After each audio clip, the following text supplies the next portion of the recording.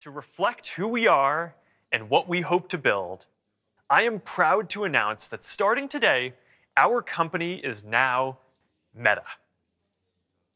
Our mission remains the same. It's still about bringing people together. Our apps and their brands, they're not changing either. And we are still the company that designs technology around people.